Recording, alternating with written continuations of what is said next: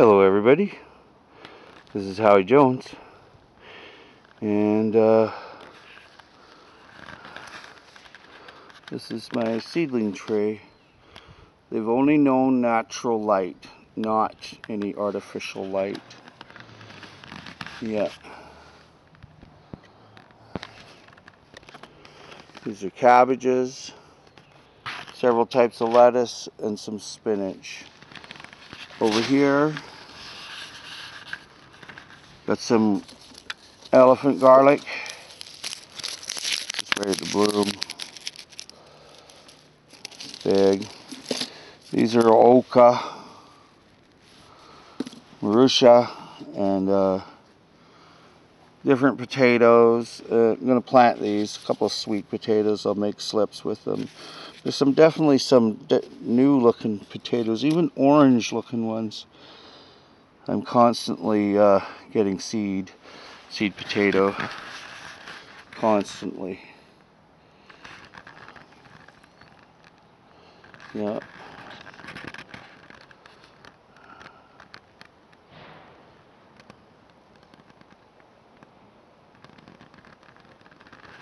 Yep, so that's uh, what we're doing today.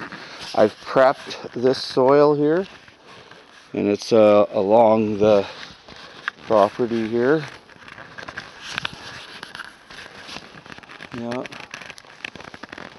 I've prepped this soil. This was a pathway soil bank that I made last year.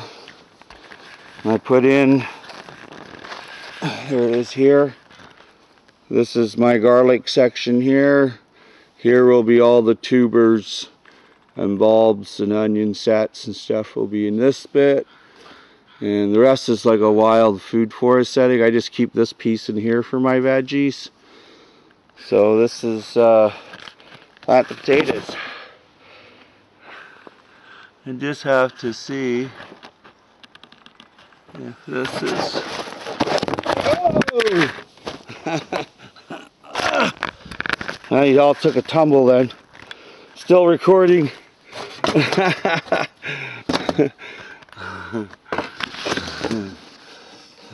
oh, there we go. That's much better.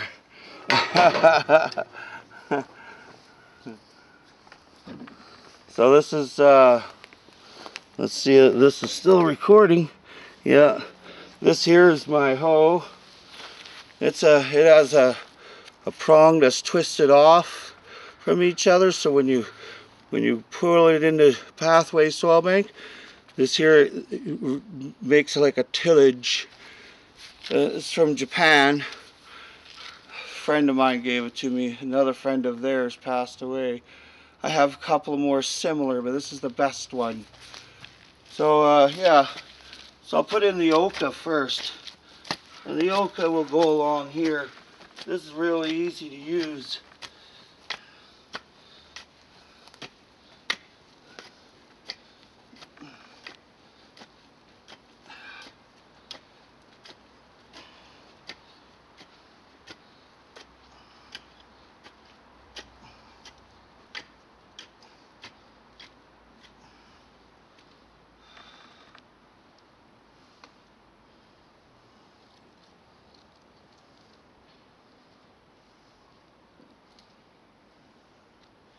This might be a long video.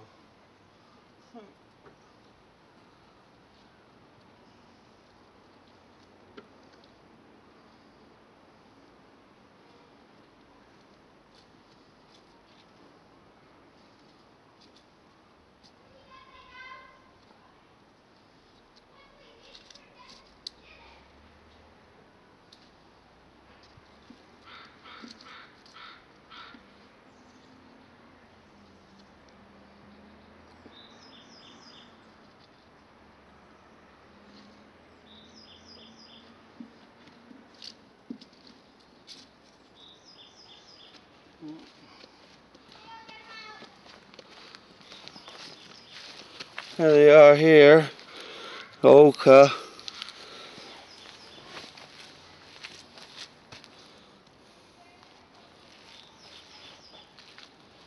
And I just go along and Put them down like that out in my little trench. Yeah.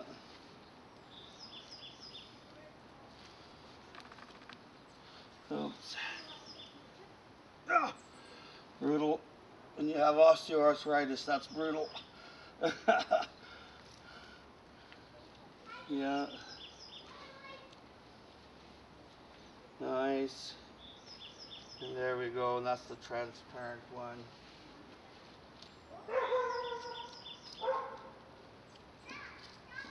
So that was the oca that's planted.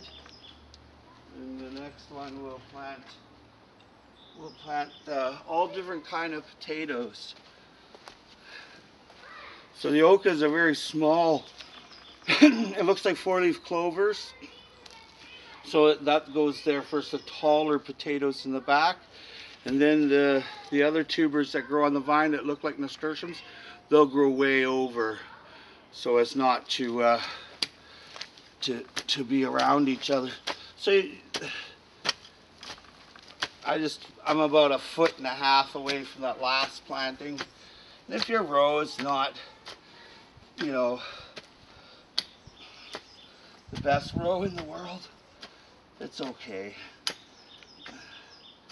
No one's going to remember you after you're long gone, whether you had a crooked row or not.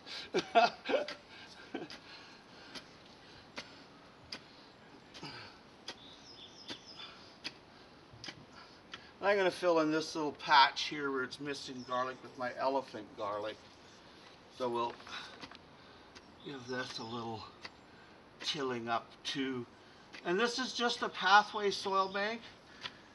And uh, this is for a friend of mine, a morning gardener. That's why I'm doing this. He asked for this to be done. I wasn't going to do it. I thought everybody knew how to plant their potatoes. It wasn't something that I was uh, thinking of. And thank, thank you very much, Morning Gardener, for reminding me. Sometimes it takes a friend that cares, you know, that uh, helps you get through things. I would have planted my potatoes anyway, but whether I would have videotaped it. Since uh, yesterday, I've planted and moved several trees. I never videotaped. Planted several 10-year-old blueberry bushes that I moved. Didn't I didn't uh, videotape. So maybe I'll start videotaping more. Well, here we go. And uh, same thing, I just put them down there about a foot and a half apart. All different color ones. And I'll take the, camera up before I bury them up.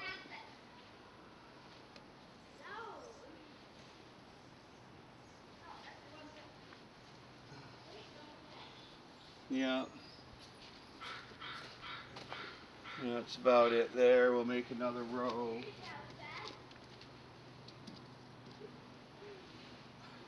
I grow a lot of different kinds of potatoes because a simple fact that uh, I like them fresh. If you have them fresh, then you will uh, you will tend to eat them without fungus. As they get older, they get a fungus on them and mold. That's the bad part of potatoes. So I'll make another row here. This is very easily done with a special hoe that's that's prong is off on an angle. They're not straight across. So you're, you're, you know, I'm just, I could just drop it in there without any effort.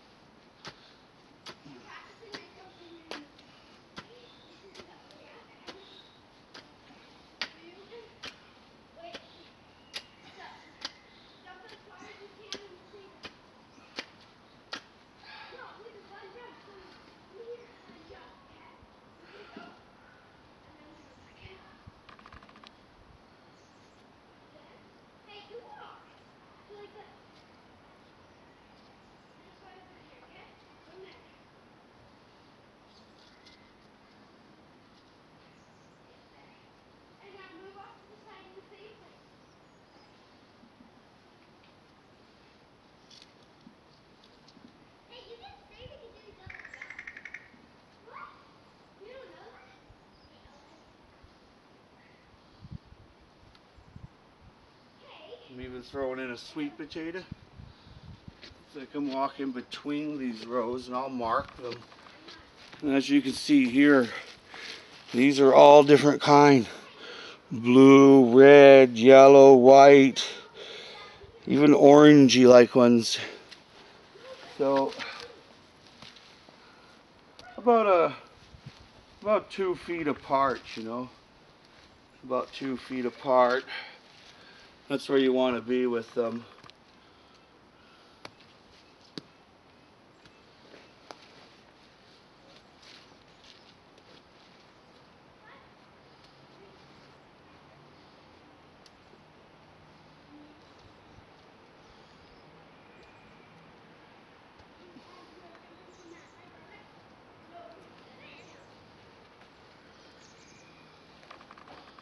Mm.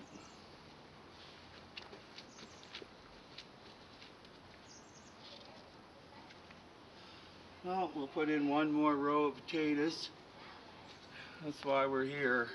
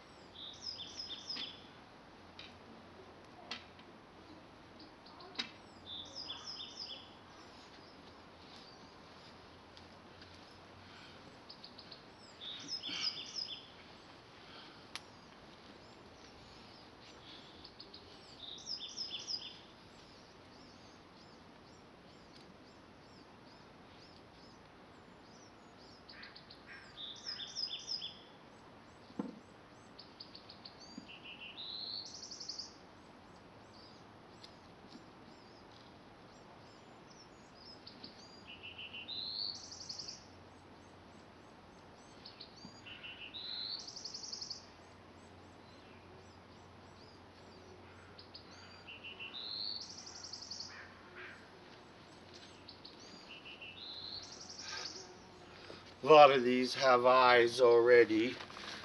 So, as you can see, all different kind. And these are like left over from last year, still soil. They're sprouting a little bit, but that's the way it is.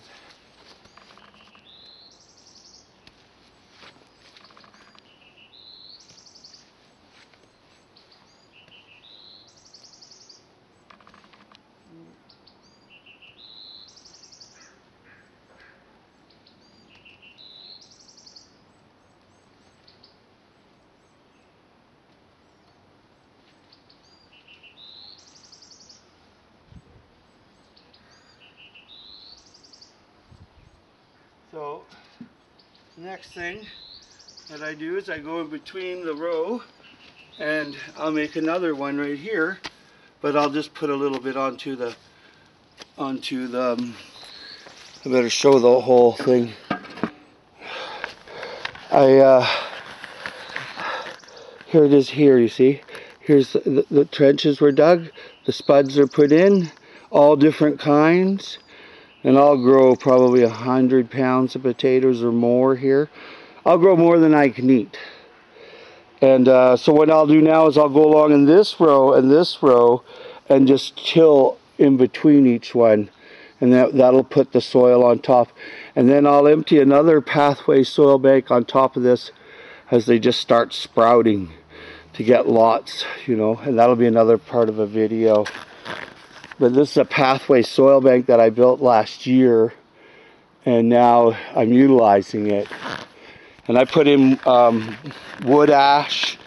I had wood ash for one year and I put a, like a half a cup in a two gallon watering can, mixed it in and I let that soak in over the year with, with some dolomite lime.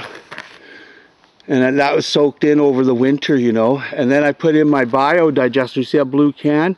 Whenever I catch fish, I put seaweed and fish in there and comfrey leaves and weeds and whatever. and it decomposes in there. And I just put that on here so it's a, it smells a little bit here. But this is very nutrient dense soil, food from within the soil. Anyway, let's get on with this and finish what uh, what was being said. Here we go. Good. I'm still there in action. And you can see what I'm doing here. And I'll bury up these uh,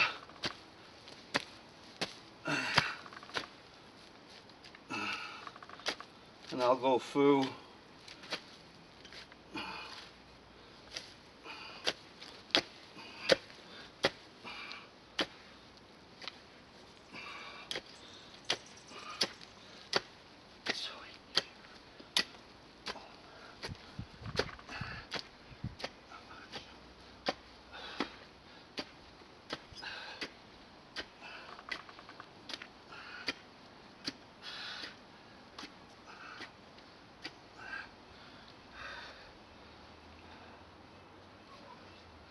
So what I'll do after I make the trench like this, so I've buried the oak on that side, I've buried the potatoes on this side. Now I have a tray of of uh, of um, seedlings, and I'll and I'll actually get a crop of lettuce and spinach off before the potatoes even become noticeable.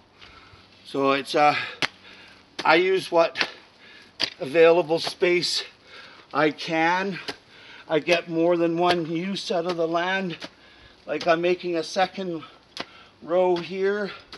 And this is where I'll put my rows of greens.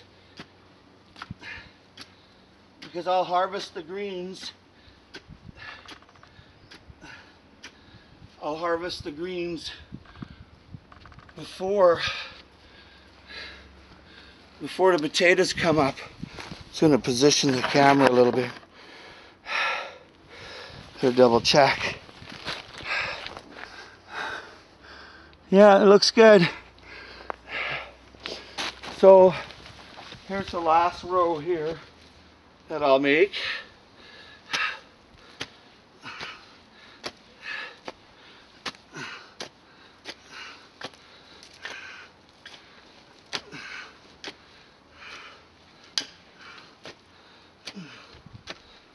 Some old potatoes from last year.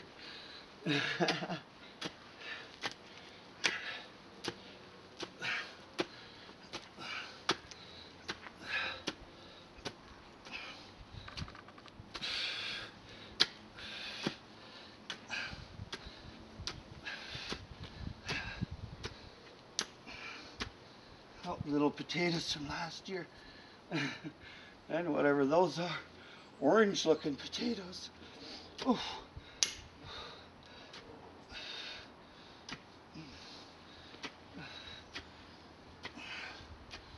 See, now